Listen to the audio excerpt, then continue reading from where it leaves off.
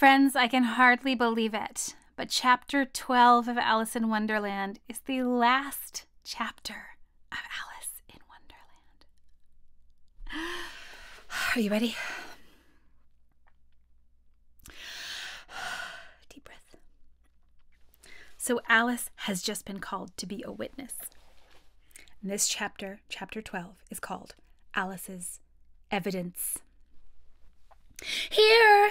Cried Alice, quite forgetting in the flurry of the moment how large she had grown in the last few minutes, and she jumped up in such a hurry that she tipped over the jury box with the edge of her skirt, upsetting all the jurymen onto the heads of the crowd below, and there lay sprawling about, reminding her very much of a globe of goldfish she had accidentally upset the week before.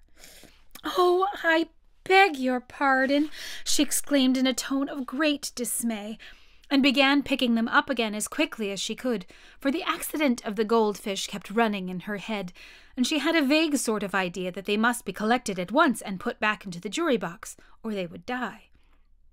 The trial cannot proceed, said the king in a very grave voice, until all the jurymen are back in their proper places. All, he repeated with great emphasis, looking hard at Alice as he said so. Alice looked at the jury box and saw that in her haste she had put the lizard in, head downward, and the poor little thing was waving its tail about in a melancholy way, being quite unable to move. She soon got it out again and put it right.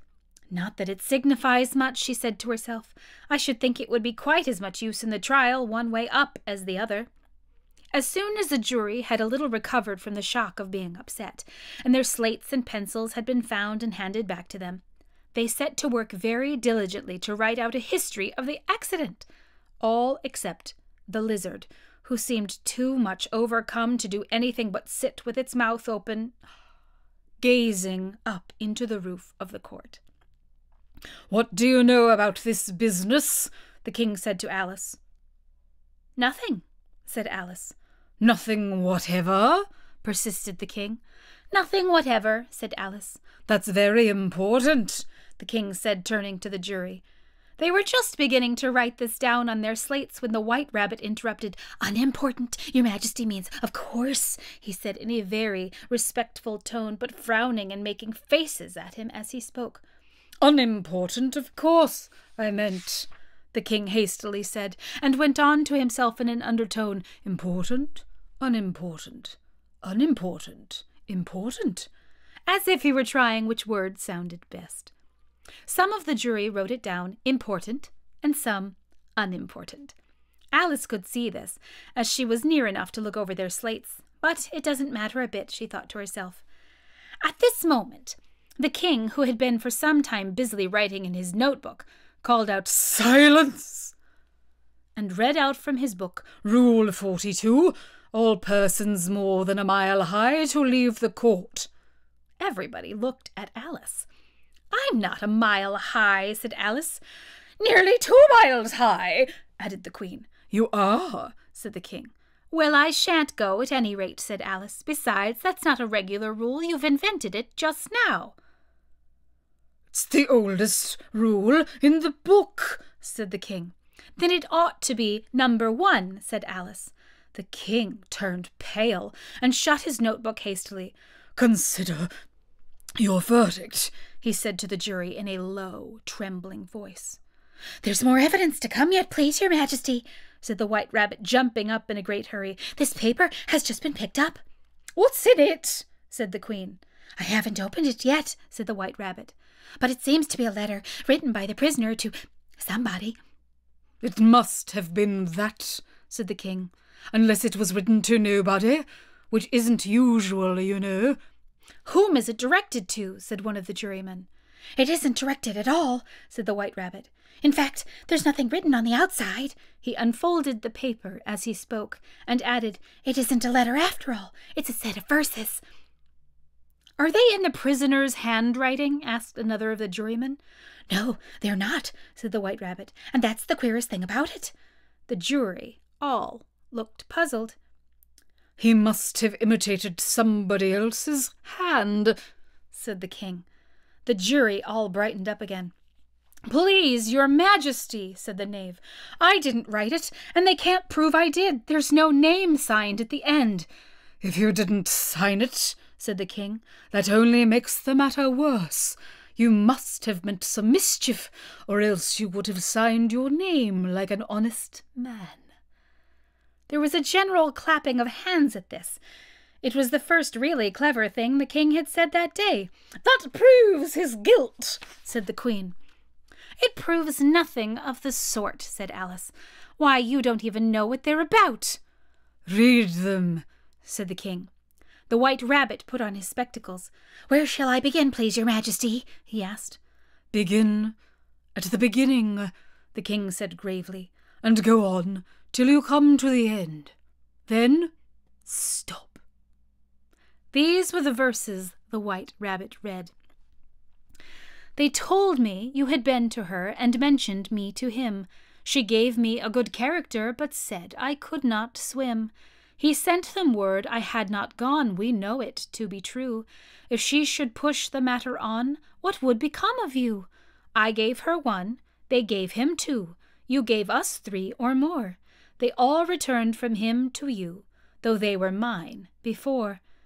If I or she should chance to be involved in this affair, he trusts to you to set them free, exactly as we were. My notion was that you had been, before she had this fit, an obstacle that came between him and ourselves, and it. Don't let him know she liked them best, for this must ever be a secret kept from all the rest, between yourself and me. That's the most important piece of evidence we've heard yet, said the king, rubbing his hands. So now let the jury. If any one of them can explain it, said Alice. She had grown so large in the last few minutes that she wasn't a bit afraid of interrupting him. I'll give him sixpence. I don't believe there's an atom of meaning in it. The jury all wrote down on their slates, She doesn't believe there's an atom of meaning in it but none of them attempted to explain the paper. If there's no meaning in it, said the king, that saves a world of trouble, you know, as we needn't try to find any. And yet, I don't know. He went on, spreading out the verses on his knee and looking at them with one eye. I seem to see some meaning in them after all. Said I could not swim. You can't swim, can you?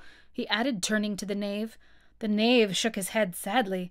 Do I look like it? he said, which he certainly did not, being made entirely of cardboard. All right, so far, said the king, and he went on muttering over the verses to himself. We know it to be true. That's the jury, of course. I gave her one. They gave him two. Why, that must be what he did with the darts, you know. But it goes on they all returned from him to you, said Alice. Why, there they are, said the king triumphantly, pointing to the tarts on the table. Nothing can be clearer than that. Then again, before she had this fit, you never had fits, my dear, I think, he said to the queen. Never, said the queen furiously, throwing an inkstand at the lizard as she spoke. The unfortunate little Bill had left off writing on his slate with one finger, as he found it made no mark but he now hastily began again, using the ink that was trickling down his face as long as it lasted. Then the words don't fit you, said the king, looking around the court with a smile. There was a dead silence. It's a pun, the king added in an angry tone, and everybody laughed. Let the jury consider their verdict, the king said for about the twentieth time that day. No, no, said the queen. Sentence first, verdict afterward. Stuff and nonsense, said Alice loudly. The idea of having the sentence first. Hold your tongue, said the queen, turning purple. I won't, said Alice. Off with her head, the queen shouted at the top of her voice. Nobody moved. Who cares for you? said Alice. She had grown to her full size by this time.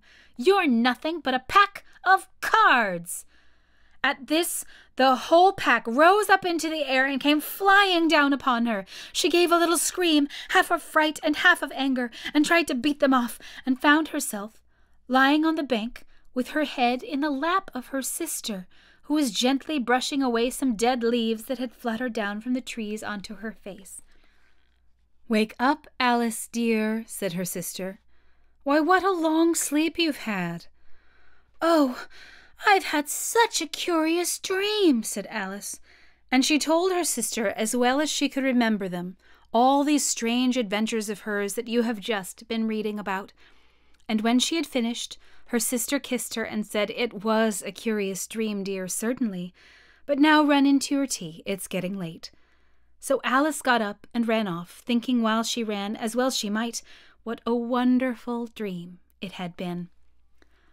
But her sister sat still just as she left her, leaning her head on her hand, watching the setting sun, and thinking of little Alice and all her wonderful adventures, till she too began dreaming after a fashion, and this was her dream. First, she dreamed of little Alice herself, once again, the tiny hands were clasped upon her knee, and the bright, eager eyes were looking up into hers. She could hear the very tones of her voice, and see that queer little toss of her head to keep back the wandering hair that would always get into her eyes. And still, as she listened, or seemed to listen, the whole place around became alive with the strange creatures of her little sister's dream. The long grass rustled at her feet as the white rabbit hurried by. The frightened mouse splashed his way through the neighboring pool. She could hear the rattle of the teacups as the March Hare and his friends shared their never ending meal, and the shrill voice of the Queen ordering off her unfortunate guest to execution. Once more the pig baby was sneezing on the Duchess's knee, while plates and dishes crashed around it. Once more the shriek of the Gryphon, the squeaking of the lizard's slate pencil, and the choking up of the suppressed guinea pigs filled the air, mixed up with the distant sob of the miserable mock turtle. So she sat on with closed eyes, and half believed herself in Wonderland. Though she knew she had but to open them again, and all would change to dull reality, the grass would be only rustling in the wind, and the pool rippling to the waving of the reeds, and the rattling teacups would change to tinkling sheep bells, and the queen's shrill cries to the voice of the shepherd boy, and the sneeze of the baby, the shriek of the Gryphon, and all the other queer noises would change, she knew, to the confused clamor of the busy farmyard, while the lowing of the cattle in the distance would take the place of the mock turtle's heavy sobs. Lastly, she pictured to herself how this same little sister of hers would, in the aftertime, be herself a grown woman, and how she would keep through all her riper years the simple and loving heart of her childhood, and how she would gather about her other little children and make their eyes bright and eager with many a strange tale, perhaps even with the dream of Wonderland of long ago, and how she would feel with all their simple sorrows, and find a pleasure in all their simple joys, remembering her own child life and the happy summer days. And that is the end of Alice in Wonderland by Lewis Carroll, illustrations by John Tenniel. So you will notice that there is more of this book because this book is Alice in Wonderland and Alice Through the Looking Glass.